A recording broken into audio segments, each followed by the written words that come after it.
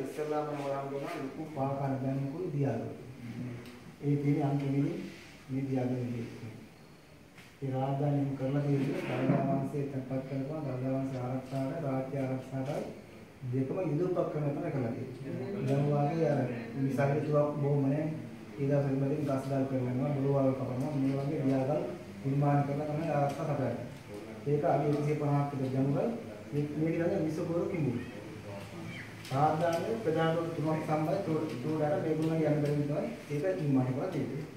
ඒ අතුල් දියාගල miss මෙහෙම යනකොට තව දියාගල තමයි මෙන්න ගල් කැට වලින් කළු බල් කැට වලින් අලාවුල් මේ පවුල් පවුල්ගේ දියාගල විදියට. ඒ හැර එක කියලා දැන් විශ්ව කටුපාව මන. ඒ කරලා තියෙන්නේ රාජධානී ආරක්ෂාවට දළදා වාසී ආරක්ෂාවට මම ඉදිරියම කරලා තියෙන්නේ. පෙර සමාජයේ මෙන්න මේ යන පාඩම. ඒතකොට අතුල් නගරය කියන්නේ මෙන්න මේක. මේ එළඹ යපොත් නේද? අතුල් නගරය කියලා තියෙනවා කඩ්ඩි වගේ රජමාලිගාව. සාකච්ඡා කරන ස්ථාන තියෙනවා. ඒකට දළදා පෙරහැර පටන් ගන්න අගෝස්තු සැප්තැම්බර් මාසේ පොළොව හැමදාම මහනුවර ඉවිච්ච ගමන් මේ පටන් ගන්නවා. මේ පෙරහැර නර වේදිකා දෙකක් තියෙනවා. ඒක පස්සේ මිදේ මේ වේදිකා දෙක. ඊට පස්සේ ආය තියෙනවා වාස්තන් පස්සේ දළදා මාලිගාවේ නටපු ටික තියෙනවා. ඒක තියෙන පල්ලෙහාට ඒ පල්ලෙහා තියෙන්නේ. ඊට පස්සේ රජුගේ මාලිගාව තියෙනවා. ඉතින් ප්‍රවේදවල මේ ඒ ඇතුළු නගරේ විතර සෝපානය කියන්නේ මෙන්න මේක. ඒක අංශක 70ක් අලව තියෙන්නේ මිස්ලා නැගිලාම නගින්න පුළුවන් මේ බහින බහිනකට සාමාන්‍ය ලොකු අමාරුවක් දකින්න වෙනවා. ඒ කියන්නේ හරිය කෙලවාගේ තියෙන පරිස්සම තමයි බහින් වෙන්නේ. ඒක කරලා තියෙන්නේ දළදා වාසයේ තප්පක දළදා වාසයේ ආරක්ෂා කරගෙන ඒකත් යුදපක් වෙනවා. ඒක උඩ උඩ දෙන්නකොටවත් පල්ලෑ 50ක් ආවත් මුල්ල කරගැනීමේ හැකියාවක් තමයි ඒගොල්ලෝ හදලා තියෙන්නේ. ඒකෝ දළදා මාලිගාවේ මේ කොටස. ඒකට පර්වතේ නටපුම් කියන්නේ මෙන්න මේ ටික. ඒ කියන්නේ රාජධානියට පෙර මේ නමදේ රාජ්‍ය තිබුණා. මේ පොළොන්නරුව කාලිං මා යුද්ධේ. ඒක අපි LTT ආමික වගේ හැමදේම යුද්ධේ. එතකොට නමදේ හේතු දෙවෙනි මේ පරක් මේ මෝඩ කරච්චි කොට විතුණා දළදාවාසයේ මේ සොලින් ඇවිල්ලා පෑරගෙන ඉඳින එයාගේ ගියා මම විතර සෙම්පේ සුබ කියන සෙම්පේ. එයාගේ වාසස්ථානය තමයි කන්ද උඩ. ඒ මේ රාජධානියට පෙර. ඊට මෙහෙ තියෙන තොරතුරු මෙයාට සපයනවා. ඒක තමයි කන්ද උඩ කොටස. අක්කර පහමාන විශාල. ඒකේ බලන්න කියන දෙයක් නෑ. පොඩු කොකුණක් තියෙනවා. බස්මා විශේෂ දැන් මේ රහතන් වහන්සේමත් තැන් තැන්පත් චෛත්‍ය කරලා ඉන්නේ කියන බෝධිකරයක් නෑ මේවා. ඒ ටික තමයි කන්ද උඩ අක්කර පහමාන විශාල. මේ මුළු භූමියේ මාන අක්කර 35 විතර කියලා යට ගෑනවා. එතන බංගලා පිටික මෙන්න මේ ටික අරකට දකින්න කර ලොකු බෝඩ් එකක් වල ආදී දැන් මෙතුරුන්ගේ බෝඩ් එක පාරයි මේ මහානට තෙලා පන්සල පව කරලා පාන්සල් යනකොට බෝඩ් එකේ බලක නේද? මේ බෝඩ් එකේ එහා පැත්තේ තියෙන ලොකු පාදා නැහැ පැත්තේ මේ මේ කියන්නේ. මේකේ තියෙන පොඩි පොඩි බේර බේර අලකුවා මේ හදලා තියෙන්නේ පිටමුව. මේක ඇතුළම මේ පිටමුව.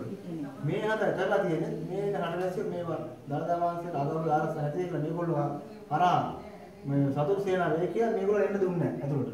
මේගොල්ලන්ට වන්දනාමාන කරන හැටි පිටවෙන්නේ. ලොකු මේ යන පාකාර බැම්මෙන් පිටපැත්ත. ඒකේ දකින්න පුළුවන් එක එක තියෙන පොඩි චෛත්‍ය තියෙනවා. ඒක බෙල්ලේ ඉතින් හදු පොඩි නැගී තියෙනවා. ඒවා දකින්න පුළුවන්. නෝ ඔය ටික තමයි අපේ රාජධානි සම්පූර්ණ සැලසුම. එතකොට මේ මේ ටික තමයි තියෙන්නේ. මේ චෛත්‍යයක් තියෙනවා. මේ පොකුණක් තියෙනවා. ඊපස්සේ මේ දැන් කියන්නේ රජමාලිගා රජමාලිගා නෙමෙයි. අර සුබ කියන සෙන්පතේ වාසස්ථාන. මොකද රජමාලිගා උඩින් මේ සෙබලෙක් ඉන්නත් බෑ දළදා වාතර උඩින් සෙබලෙක් ඉන්නත් බෑ. ඒ ආරක්ෂා කරුත්තේ නැහැ නේද? ඒ මේක තමයි මේ තියෙන රාජධානි පෙර. මෙන්න මේ මේ කටාරංගට ලෙන් තියෙන හතජේ රාජධානි මට. දැන් මේ කටාරංගට ලෙනක තමයි මේ විහාරස්ථානෙත් ඇතුලේ විහාරෙකෙත් තියෙන්නේ. පරණ විහාරයක් තිබිලා තියෙන රහතන් වහන්සේලා හැම වැඩ හිටපු මේ කටාරම්කට බුලේ ඒ මේ මේවා තමයි තියෙන්නේ. ඒක මම පස්සේ කියලා දෙන්නම්. එතකොට මේ මේවයි බෝධිකරයක් තියෙනවා. මේ බෝධිකරය කියලා කියන්නේ ඉස්සර මිනිස්සු අර දස්ගල් වලට වැන්දේ නැහැ බෞද්ධ හැටියට. සමහර කෙනා බොරු කතාවක්. දැන් බුදුන් වහන්සේ පිළිතුරු බෝධියක් හදාගෙන උන්වහන්සේගේ සිරිපතුලක් නේද නිර්මාණය කළා. ඒ ටික තමයි වන්දනමාන මේ බෝධිලේ සම්පූර්ණ තියෙනවා. මේ මේ ටික තමයි යව රාජධානියේ කන්ද උඩ කොටස. එතකොට මෙන්න මේකන්ගේ පිට නුඹ.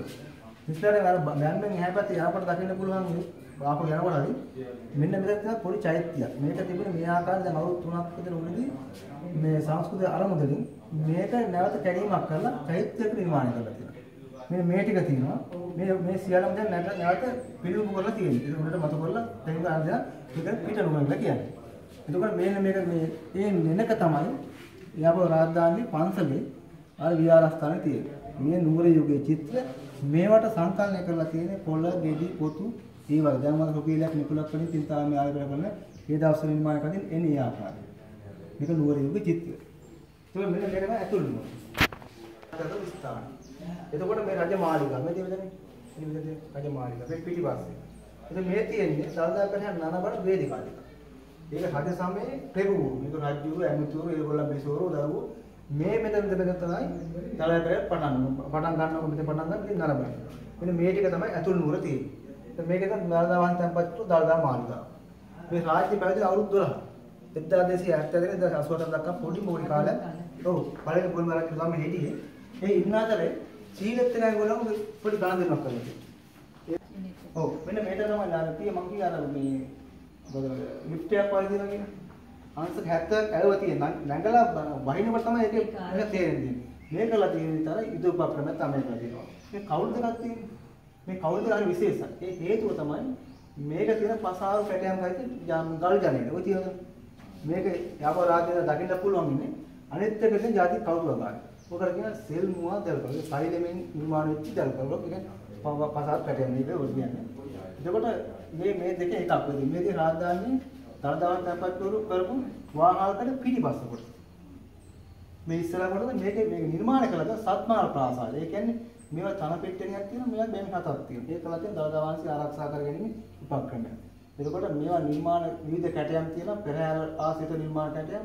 එතකොට ඒගොල්ලන්ගේ විසෝරුන්ගේ ආසි මේ ආසා කරන විවිධ කැටයම් මේ සාහිත්‍ය මේවා තියෙනවා. ඒතකොට මේක යපෝ සිංහයන් කියලා සිංහල උට්ටයක් මේ තියෙන්නේ. බලන්න. මේක කියන මකර සූර වගයි තියෙන්නේ.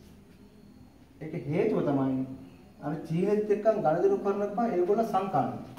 ඒ කියන්නේ අපෝ සිංහයා කියවට සිංහල බගනේ ඔව් මේක රුපියල් 10 කොලේ දැක්කම මිනිස්සුන්ට දකින්න පුළුවන් වෙනවා මෙන්න මේ මේ දේ මේ දේ තමයි මේ තියෙන්නේ කියලා දකින්න මේක යම ලාදාන ප්‍රමාණය මේවත් දකින්න පුළුවන් ඉන්නේ මේ සිංහෙන් දෙන්නෙක් ඉන්නවා. දෙන්න සාමාන්‍ය බලාල්කේ ත්‍රිකෝණාකාරයි. ඒගොල්ලන්ගේ එහෙනම් අවසාන මේ මතුවෙන්නේ ඕන විදිහට. දැන් මම හිටියට අවසාන බැරිල මතුවෙන්නේ ওই විදිහට. ඒක හරි විශේෂයි. මේ මොකක් හරි උමනා කරනවා කැටි මේ ඉරිය මේ තියෙන්නේ. ඒක මෙන්න මෙතන මේ ගල්ද විකට විශ්ණු කාර්යය තියෙනවා. මේ පෙන්වන දේ හොඳ නැහැ. මේකේ විශ්ණු ප්‍රතිමාවෙන් බෞද්ධයන් හැටියට අපි යම් කිසි හොඳ දෙයක් කරනකොට එයාට බාර කරන අපිට මෙලි ඉෂ්ට කරලා දෙන්න කියලා. සමහර කට්ටිය මිනිස්සුන්ට ඊර්ෂ්‍යා වෛර කරනවා නම් එයා බාර දෙනවා. මෙන්න මෙයාට මෙයාගේ මේ දේ විනාශ කරලා මෙයා විනාශ කරලා දෙනවා. මේ දෙන්නගෙන් පෙන්ලා දෙන්න හොඳ නැහැ. මෙයාට ඔලු ගානේ මේ දේ ගිනි දාලා කවදාකවත් හොදක් කරන්න කාට. මෙයාගේ එහෙම නෙමෙයි. මෙයා බලන්නෙම සුභසිත කරන්න. ඉතින් මේ දේ තව ඉස්සරහට මේ මේ දේ පන්සලට ආවේ විජය රජුගේ පස්සේ. ඒ කියන්නේ උගේණි එළවලා විජය රජු නැවත ගියාම පස්සේ ඉන්දියානු කුලකාන්තාව දෙන්න පස්සේ ඒ දෙන්නගේ ආරක්ෂාවට තමයි මේ පිළිමේ පන්සලට ගියේ නැත්නම් තියෙනවා කෝවිල. අල්ලා ගෑල්. එතකොට මේ මොනවද කියන්නේ විශ්වපතුම අපිට කියලා. මෙන්න මේ පව.